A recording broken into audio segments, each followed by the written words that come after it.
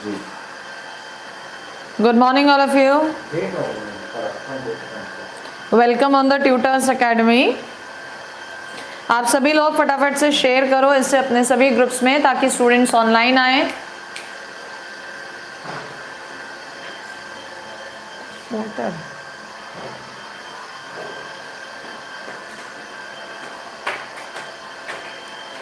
जल्दी से करिए फटाफट से शेयर बोलना नहीं ऊपर बोल जरा भाभी?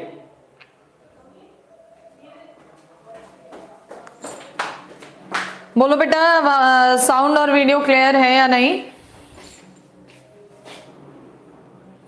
यस ऑफ़ कोर्स क्लियर आ रहा है। चलो स्टार्ट करते हैं हम लोग अपना। हम लोगों ने कल जो बेटा करा था, कल हम लोगों ने बात करी थी किसकी? मैट्रिसेस की, जिसमें हमारा पूरा नहीं हो पाया था, वीडियो अचानक से बीच में रुक गया था तो उसी से आगे हम लोग अपना कंटिन्यू कर रहे हैं। कुछ क्वेश्चन हैं जो मैं रिवाइज कराऊँगी पहले आपको सो so दैट आपको कंसेप्ट क्लियर हो जाए एंड उसके बाद आगे बढ़ेंगे। Everything is clear properties of triangle Ajit Kumar करा देंगे। आपका अपना स्टेटस कह रहा है, मैम, आपने पैसे डोनेट किया हो क्या? बेटा, उसका कोई प्रूफ देना पड़ता है क्या? पैसे डोनेट किया है कि स्क्रीनशॉट वगैरह डाल दो। इसके लिए सिंपल बोलिए कि अगर डोनेशन देना है तो उसके लिए जस्टिफिकेशन में कोई नहीं जानी चाहिए पिक सीक्रेट चैरिटी होती है। नहीं, ये थोड़ा सा वही है ना कि आप सब लोग डोनेशन के लिए बोल रहे हो। मेरा कहना सिर्फ़ इतना है कि अगर कोई बंदा कुछ डोनेट कर रहा है तो उसका क्या जस्टिफिकेशन देना होता है? कि कोई पिक डाल दो या कुछ भी कर दो। जो होता है, वो अपने दिल से होता है, ना कि ऐसे कि आपको शो ऑफ़ किया जाए। ये और नो बाकी हमने क्या डोनेट किया है या क्या कर रहे हैं, वो हमें ही पता है और किसी को हम ना जस्टिफाई कर सकते, ना हम करना चाहते। डोनेट करना चाहिए, सबको करना चाहिए, आप लोग भी करो जितना भी कर सकते हो, लेकिन उसका तमाशा नहीं बनाना शो ऑफ़ नहीं करना, ठीक है? बच्चे कह रहे हैं मैम बताने से रिस्पेक्ट और बढ़ जाती है। ऐसा कुछ नहीं होता ये सिर्फ़ आपके दिमाग का वहम होता है क्योंकि आपकी नज़र में रिस्पेक्ट बढ़ेगी किसी दूसरे की नज़र में रिस्पेक्ट घटेगी उससे कुछ नहीं सिर्फ़ आप अपने को कैसे जस्टिफाई कर पा रहे हो that is the important thing बस और कुछ नहीं है। जस्टिफिकेशन देखना है तो मैं ऐसे ही बोल दे रहा हूँ। बाकी इस बारे में मयंक सर ज़्यादा बताएँगे। आ जाओ मयंक सर आप ही बताओ। अगर जस्टिफिकेशन देखना है तो हाँ हम कल की वीडियो में आपको अपना जीएसटी का जो पिछले छह सात महीने की इनकम पर साढ़े सात लाख रुपए अपना जीएसटी का टैक्स दे चुके हैं वो हम ज़रूर बता सकते हैं। दूसरा चैरिटी कहीं पर भी की जा रही है तो बेटा उसके लिए कोई शो नहीं होना चाहिए। हम 21 लोगों का ग्रुप है पूरा मेरठ में। हम 21 के 21 लोगों ने जो भी हमारी बेस्ट ऑफ़ द कैपेबिलिटी हमने वो शेयर किया है। बट सभी का एक ही म्यूचुअल कंसर्न था कि हम किसी भी सोशल प्लेटफॉर्म पर इसको कभी नहीं बोलेंगे। द रीज़न बींग हमारे पीएम ने हमसे मदद मांगी है। पब्लिसिटी नहीं। और इसके लिए बहुत क्लियर कट अपने में समझ लीजिए कि एक भी बंदा, एक भी बंदा जो शेयरिंग कर रहा है, जो भी वहाँ डोनेशन दे रहा है, वो एक रुपए का या एक करोड़ रुपए का है, वो उस दिन तक बहुत बढ़िया है। जिस दिन तक वो अपने से दे रहा है और अपने लिए दे रहा है। प्रॉब्लम यहाँ पर ये है कि वो बच्चे या कोई भी अपने लिए नहीं देने को तैयार है, वो पब्लिक के लिए देने को तैयार है, दिखाने के लिए कि मैंने इतना दिया। जैसे lot of people are carrying daring type ऐसा चल रहा है कि उन्होंने चेक्स बताए, इतने का चेक गया, ये गया। That checks will not be clear within fifteen days online का जमाना है तो ऑनलाइन पेमेंट करिए ना। अभी जैसे एक बच्चा कानपुर में फंसा हुआ है, उसका मैसेज था सुबह की क्लास में, सर, मुझे कुछ फंड अवेलेबल करा दीजिए। We are try our level best कि उसका ऑनलाइन वो पेमेंट हो जाए बट अनफॉर्चुनेटली हम लोग नहीं करा पा रहे हैं क्योंकि जो नंबर उसने दिया है, वहाँ पर उस पोडियम पर, उस पेमेंट मोड पर वो अवेलेबल नहीं है। तो हम रेगुलरली कोऑर्डिनेट कर रहे हैं कि किसी भी तरह से अगर हम उस बच्चे के लिए कोई भी हेल्प कर सकते हैं तो सीक्रेटली करिए अपने आप के लिए करिए कि आपको सेटिस्फेक्शन आए। ऐसे नहीं कि पब्लिक को सेटिस्फेक्शन आए। पब्लिक को सेटिस्फेक्शन के लिए तो भाई रतन टाटा ने 500 करोड़ रुपया दिया है। राष्ट्रपति ने भी आज अपना पाँच लाख रुपए का सैलरी दे दिया है। पैरामिलिट्रिकल फोर्सेज ने दे दिया है। सभी ने सभी ने कंट्रीब्यूट किया है। तो क्या उसमें फिगर बताना ज़रूरी है? मुझे नहीं लगता। और हमारी सोच भी ये नहीं कहती है। इसलिए हमसे कभी भी फिगर के लिए बात नहीं करिएगा। आप सारे लोग डोनेट करिए, भले ही एक एक रुपया करिए। करिए। एक अरब तीस करोड़ का देश है। अगर एक एक रुपया भी डोनेट होगा तो सोचिए, एक अरब तीस करोड़ तो वहाँ पहुँच ही जाएगा। दूसरी बात, अभी नवरात्रि आ रही हैं, दो तारीख का कंजक है। एक मैसेज मेरे पास आया था कि बजाय वहाँ पर ग्यारह कन्याओं को जिमाने के अगर ग्यारह ग्यारह रुपये मल्टीप्लाई ग्यारह एक सौ इक्कीस होता है वो भी आप उस फंड में देंगे तो बहुत लोगों के काम आएगा और वो किसी को बताने या दिखाने की आवश्यकता नहीं है। ठीक है? चलिए क्लास शुरू करते हैं। नहीं सर बताने से दूसरे लोग भी मोटिवेट होते हैं। ऐसा ज़रूरी नहीं है मोटिवेशन खुद से आता है और उसमें फिगर बताने की ज़रूरत नहीं है। सब लोग कंट्रीब्यूट कर रहे हैं और अपने अपने लेवल पर सब लोग कर रहे हैं। ठीक है? चलिए क्लास शुरू करते हैं।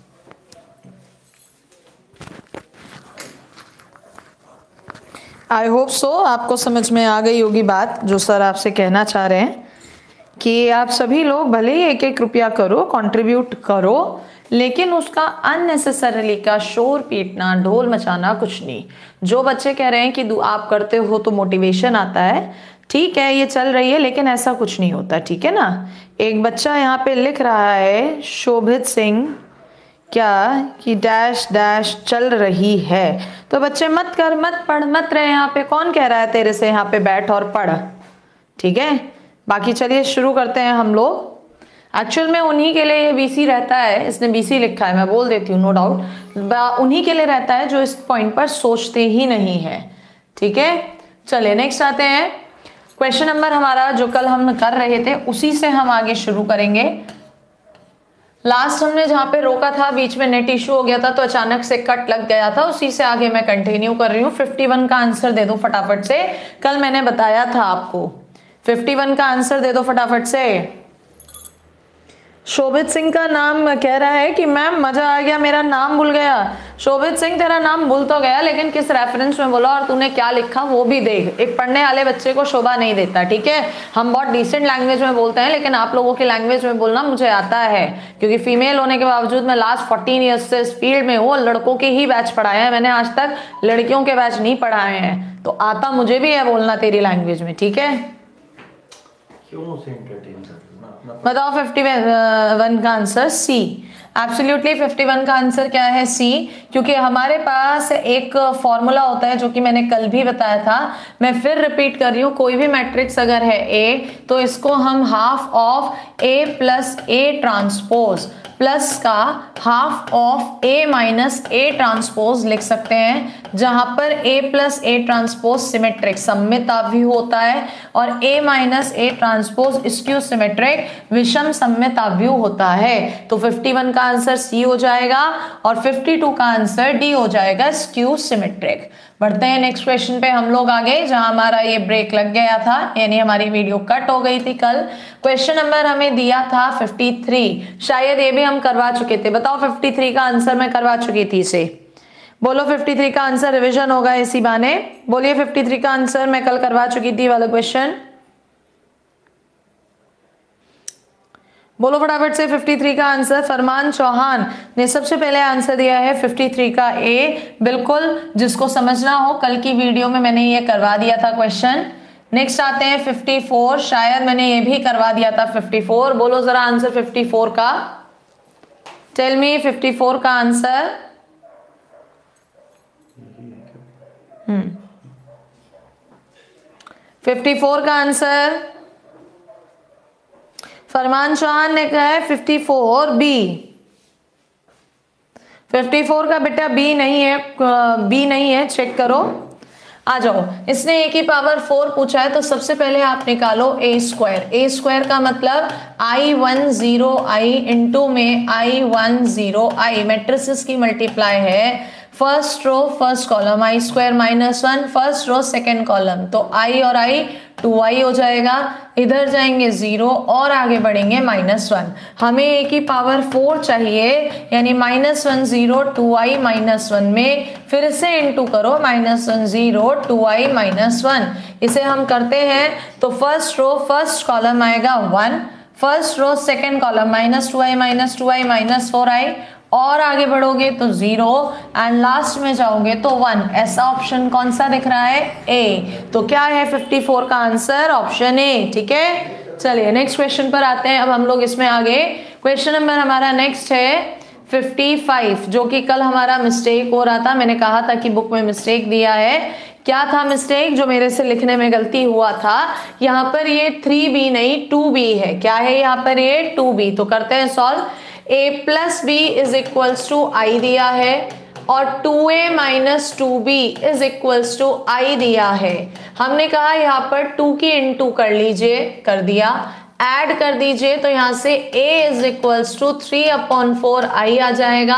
आई हमें पता है one zero zero zero one zero zero zero one होता है। थ्री बाय फोर के इंटू है तो हर जगह आ जाएगा थ्री बाय फोर। चेक करो ऐसा ऑप्शन कौन सा है। कोई भी नहीं है तो आंसर क्या हो जाएगा इसका? नन ऑफ़ दीज क्या है इस क्वेश्चन का आंसर 55 का? नन ऑफ़ दीज कुछ बच्चे 55 का आंसर बी दे रहे हैं। आई डोंट नो वो कैसे बी दे रहे हैं, क्योंकि यहाँ ध्यान से देखो बी में क्या आ रहा है? माइनस और आइडेंटिटी मैट्रिक्स में माइनस आने का कोई सवाल ही नहीं उठता। लेकिन हाँ आर एस अग्रवाल की जो बुक है, उसमें पीछे बी ऑप्शन लिखा है। तो हो सकता है ये बच्चे वो हैं जो रिज़ल्ट देख करके आंसर दे रहे हैं, ठीक है? तो क्या होगा आंसर आपका? ऑप्शन डी नेक्स्ट क्वेश्चन पर आते हैं। क्वेश्चन नंबर हमारे पास है 56 क्या कहता है 56 क्वेश्चन के अंदर? इसने कहा, a दिया, b दिया। A प्लस बी का whole square A square B square है तो बताओ कौन सी बात सही है। यहाँ ध्यान से देखो, कुछ बच्चे सॉल्व करने लगेंगे, लेकिन A square a plus B का होल स्क्वायर जो होता है, वो A square B square plus का ए बी प्लस का B A is equal to होना चाहिए इसके। यहाँ पर ध्यान से देखें तो A square B square cut गए, यानी कि ए बी किसके इक्वल हो जाएगा? माइनस बी ए और आपको क्या करना है? कंपैरिजन तो ए बी ए बी मैं डायरेक्टली कर रही हूँ first row first column A minus B आएगा। फ़र्स्ट रो सेकेंड कॉलम तो वन प्लस वन होगा two second row first column two A minus का B second row second column दो और एक हो गया तीन। किसके इज़ इक्वल्स टू आएगा? बी ए वो भी माइनस ऐसे सर्कल कर देते हैं, ठीक है? बी ए बी पहले लो। फ़र्स्ट रो फ़र्स्ट कॉलम तो कितना होगा? ए प्लस टू ए फिर होगा फ़र्स्ट रो सेकेंड कॉलम तो कितना होगा? Minus A minus one minus A minus one अच्छा ए प्लस टू है इधर। ए नहीं आएगा, ठीक है? नेक्स्ट पर आते हैं सेकेंड रो फ़र्स्ट कॉलम तो बी माइनस टू आगे बढ़े सेकेंड रो सेकेंड कॉलम तो माइनस बी प्लस वन और यहाँ से अगर हम कंपैरिजन करते हैं, किसका बेटा? First element A minus B is equals to यहाँ का first element minus A minus two तो इधर से टू ए माइनस बी बराबर माइनस टू पहली कंडीशन आ गई. इसी तरह से सेकेंड को भी कंपेयर करो, बाहर माइनस लग रहा है तो टू बराबर ए प्लस वन यानी ए बराबर आ गया वन के। और जैसे ही ए वन आया तो बी कितना हो जाएगा? फोर यानी आंसर इज़ ऑप्शन सी क्या है? फिफ्टी सिक्स का आंसर ऑप्शन सी ठीक है? संजय जाधव कह रहे हैं, मैम, आप सवाल डीपली समझाया करो। बिल्कुल बेटा, आप ये बात इसलिए कह रहे हैं क्योंकि आपके कंसेप्ट की क्लासेस मिस हो चुकी हैं तो मैं यहाँ पर पूरे पूरे कंसेप्ट दोबारा नहीं बता सकती हूँ। समय की पाबंदी है। कंसेप्ट के लिए आप वीडियोज़ में चले जाओ। कंसेप्शनल यहाँ स्पीड यही रहेगा। इसने कहा फॉर व्हाट वैल्यू ऑफ़ के के की वैल्यू के लिए किस सिस्टम ऑफ़ इक्वेशंस का नॉन ज़ीरो सॉल्यूशन होगा? आपको दिख रहा है कि यहाँ पर ये राइट हैंड साइड कैसी आ रही है? ज़ीरो होमोजीनियस इक्वेशन से नॉन ज़ीरो सॉल्यूशन के लिए डी ज़ीरो होना चाहिए. डी क्या आएगा? पहली equation three minus one one दूसरी इक्वेशन पंद्रह माइनस छ पाँच. तीसरी equation k minus two two किसके इक्वल आना चाहिए? ज़ीरो कर दो सॉल्व थ्री यहाँ हो गए माइनस का बारह प्लस का दस. तो माइनस का दो, माइनस माइनस प्लस का एक, लाइन गया। पंद्रह दुन्नी तीस, माइनस का पाँच के, प्लस का वन, लाइन गया ऐसे। तो माइनस का तीस, प्लस का छ के। किसके इक्वल होना चाहिए? ज़ीरो के। तो माइनस छ प्लस तीस, माइनस पाँच के। माइनस का तीस प्लस का छ के इज़ इक्वल्स टू ज़ीरो। तीस से तीस कैंसिल हो गया। कितना बचा? के इज़ इक्वल्स टू सिक्स। कौन सा ऑप्शन हो जाएगा? Option D. क्या है बेटा इसका आंसर? फिफ्टी सेवन का ऑप्शन डी। देखिए जरा कितने लोगों ने दिया है। Exactly exactly. नारायण यादव कह रहे हैं, मैम एनडीए टू टू का रिज़ल्ट आ गया है क्या? एनडीए सेकेंड 2019 वो तो बेटा बहुत पहले आ चुका है रिज़ल्ट आप अभी कहाँ से उठ रहे हो? बहुत पहले रिज़ल्ट आ चुका है उसका। फेब्रवरी में आ गया था रिज़ल्ट चलिए नेक्स्ट आते हैं। नेक्स्ट क्वेश्चन देखो जरा।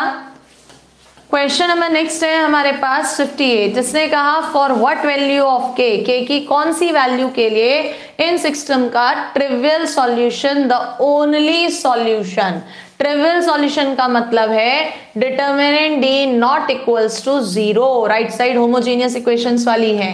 यानी कि two minus one three one minus two one k one minus one not equals to zero solve करना आपको आता है टू लाइन गया तो टू माइनस वन कितना? वन प्लस का वन हो जाएगा।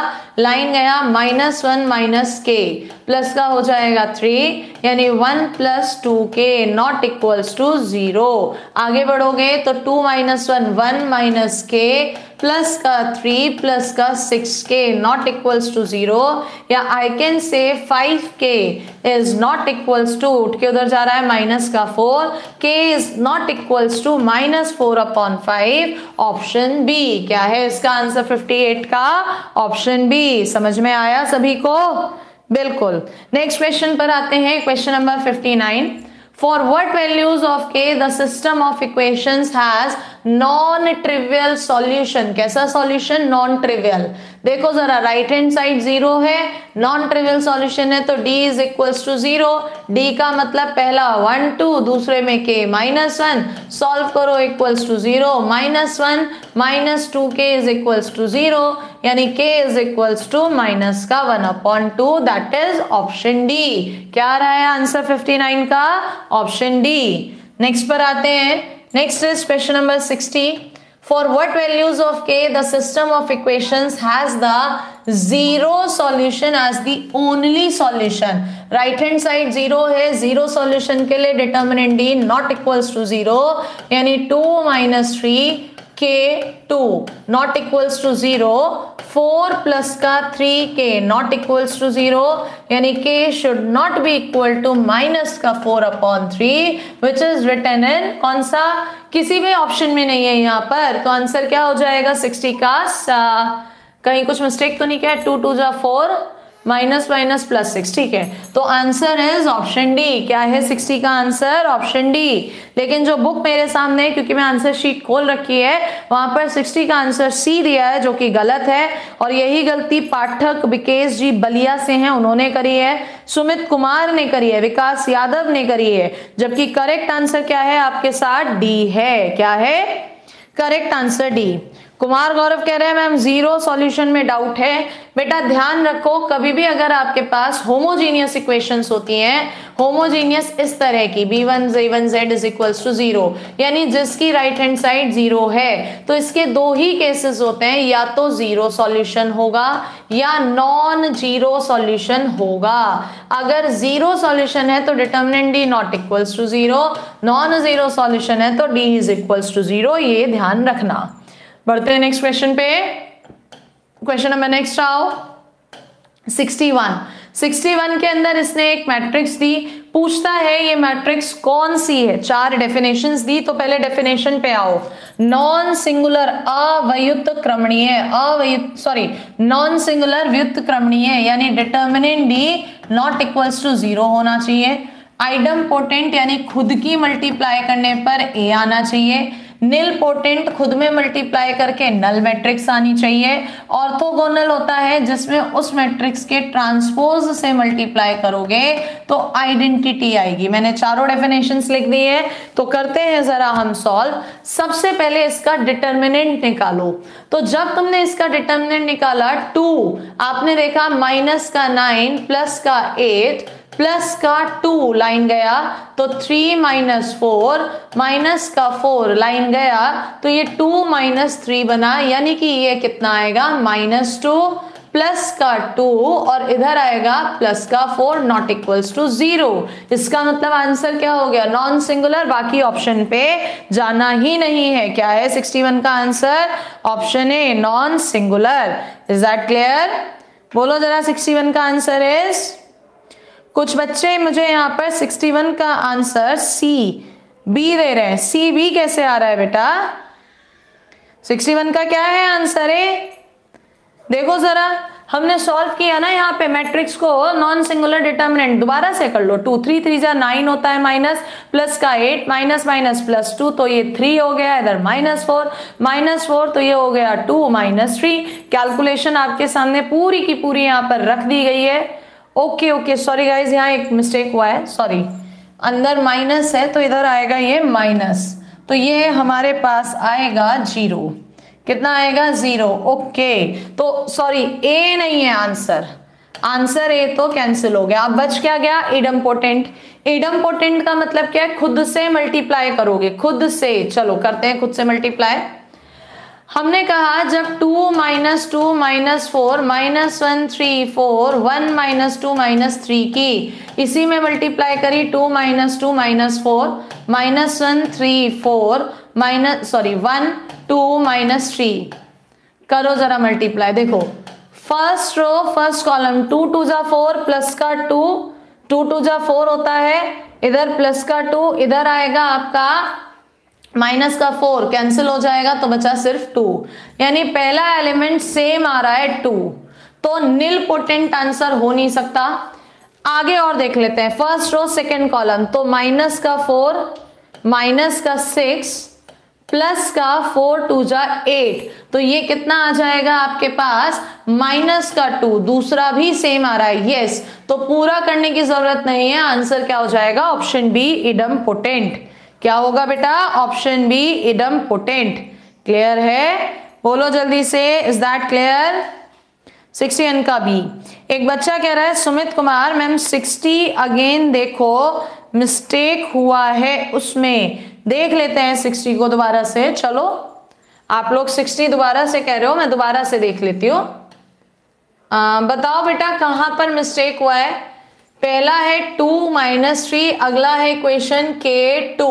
तो टू टू जा फोर, ये होगा minus minus plus three k not equals to zero तो यहाँ पर इसने कहा था ओनली सॉल्यूशन सिर्फ़ और सिर्फ़ एक ज़ीरो सॉल्यूशन हो determinant not equals to zero उठ के उधर गया, माइनस ठीक तो है। जल्दी बोलो, कहाँ पर मिस्टेक है जो बच्चे कह रहे थे सिक्सटी नंबर दोबारा से? देख लिया मैंने अभिनव राज सुमित कुमार। सुमित कुमार, दो बार बोल दिया, आपने लिखा है। बताओ कहाँ मिस्टेक है? Tell me where is the mistake बेटा? I am waiting Sumit Kumar कह रहे हैं zero solution k not equal to होता है। नॉट इक्वल टू ही तो लगाया है बेटा, लेकिन नॉट इक्वल टू क्या आ रहा है? माइनस फोर बाई थ्री और यहाँ क्या दे रहा है? प्लस का फोर बाई थ्री तो ऑप्शन तो मैच ही नहीं कर रहा है। क्या टिक करोगे? नन ऑफ़ दीज ये सोनो